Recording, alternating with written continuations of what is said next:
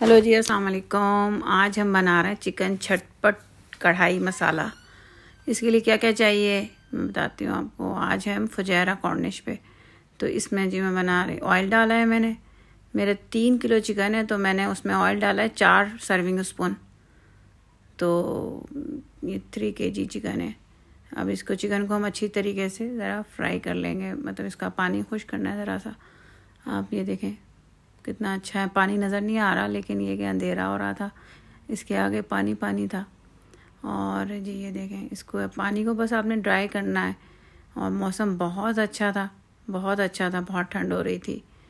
और ठंड में लोग भी बाहर निकलते हैं, हमने भी टेंट शेंट लगा हुआ है। तो बस यही इन्जॉय हो रहा था। इसके अंदर हमने जल्दी से झटपट चिकन कढ़ाई मसाला बनाते हैं, हमने कहा। तो मैंने कहा, मैं आपके साथ भी शेयर करती हूँ, ये देखें चिकन का जो है हम अच्छे तरीके से फ्राई कर लें आप, इसका कलर जब चेंज होने लगे ना तो फिर बाकी काम शुरू करेंगे, ये देखें फ्लेम भी हमने हाई रखा हुआ है, ताकि इसका पानी जो है ना वो ड्राई हो जाए. पानी को अच्छे तरीके से ड्राई करने की कोशिश करते हैं। और जी, बहुत मज़ा आ रहा था, बाहर की कुकिंग जो होती है ना, वो उसका मज़ा ही और होता है। गार्लिक मैंने लिए हैं दो बंच बंच को मैंने चॉप काट लिया है, क्योंकि चॉप कर लिया था छुरी से। तो ये दो गार्लिक के पूरे बंच हैं। इसको भी डाल देते हैं इसके अंदर और इसको भी हम इसके साथ ही फ्राई कर लेंगे साथ चिकन में। गार्लिक की अच्छी खुशबू आ जाएगी। क्योंकि गार्लिक हमने लिया अभी। चिकन भी ज़्यादा है, तीन के, किलो है थ्री के जी। तो इस वजह से गार्लिक के भी दो बंच हैं पूरे चॉप्ड और ये देखें। अब इसके अंदर मैं डाल रही हूँ ज़ीरा। ज़ीरा मैंने लिया है two tablespoon lightly level है लेवल है, ठीक है? दो टेबल स्पून ज़ीरा चला गया इसमें। और अब हम इसमें डालते हैं जी दूसरे स्पाइसेस धनिया जाएगा इसमें, कुटा हुआ धनिया है, दो tablespoon two tablespoon coriander powder और हरी मिर्चें हैं, मैंने वन टेबल स्पून ही फुल ली थी भर के। आप अपनी मर्ज़ी से डाल सकते हैं। और चाट मसाला है वन टेबल स्पून, हल्दी है वन टेबल स्पून। भर के है, चाट मसाला लेवल है, लेकिन हल्दी जो है वो भर के थी। और जी ये इसमें सॉल्ट चला जाएगा। सॉल्ट भी आप अपनी मर्ज़ी के हिसाब से डालिएगा। कितना नमक खाते हैं। और गरम मसाला चला जाएगा वन टेबल स्पून मिक्स गरम मसाला। वो सारी चीज़ें इसमें डाल दी हैं। अब इन चीज़ों को भी हमने ऑयल में ज़रा फ्राई कर लेते हैं ताकि जितनी भी ये कुटी हुई मिर्चें, धनिया हैं और ज़ीरा है, ये सारी चीज़ें रोस्ट हो जाएँ इसी के अंदर। और अच्छी खुशबू आने लगेगी। फ्राई करने, करेंगे तो साथ ही। ये देखें, कितना खूबसूरत लग रहा है मून भी। और पानी है, पानी में देखें, उसका नज़र आ रहा है पानी में भी। तो बहुत ही अच्छा वेदर है। और इस ऐसी जगह पे आपको कुकिंग करने का मज़ा भी बहुत आता है। देखें।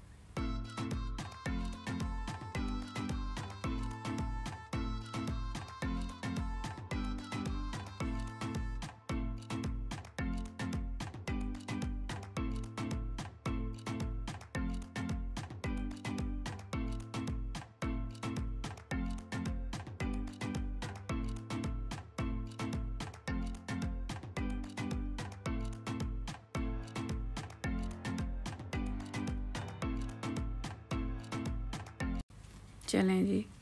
कितना ज़बरदस्त मौसम है। अब हम आ जाते हैं अपने चिकन पे। चिकन भी देखें इतनी देर में अच्छे तरीके से सारे मसाले जो हैं ना वो रो, रोस्ट हो रहे हैं। और चिकन भी आपका क्योंकि आपने पानी इसका खुश करना है तो उसमें यहाँ तो चिकन गल भी बड़ी जल्दी जाता है। तो ये मसाले करते करते फ्राई करते करते ही आधा चिकन तो आपका उसी में गल जाएगा। अब मैं टमाटर लिए हैं मैंने दो बड़े साइज़ के टमाटर थे वो हम इसके अंदर डाल देते हैं। और मैंने ये पाँच प्याज़ें ली थी। ये प्याज़ों को भी इस तरीके से मीडियम साइज़ की है। उनको काट लिया है और वो भी डाल देते हैं इसी में साथ ही। तो अब इसको मिक्स कर लेते हैं अच्छी तरीके से। बस सारी चीज़ों को अच्छी तरह मिक्स कर लेते हैं प्याज और टमाटर।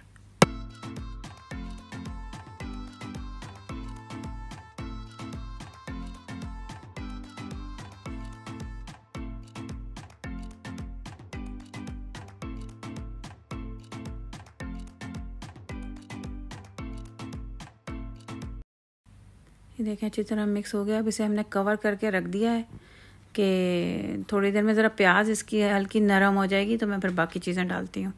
पाँच मिनट से के लिए, दस मिनट के लिए आप इसको हल्का ज़रा स्लो फ्लेम पर रख दें ताकि प्याज नरम हो।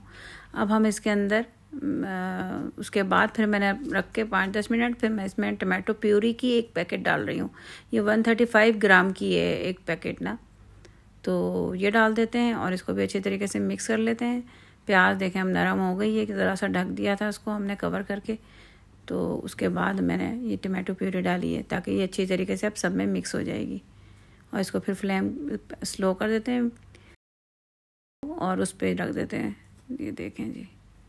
मैंने अब इसको रख दिया है। अब जब तक ये गलेगा नहीं, इसको देखते हैं कि ये हो गया रेडी देखें जी।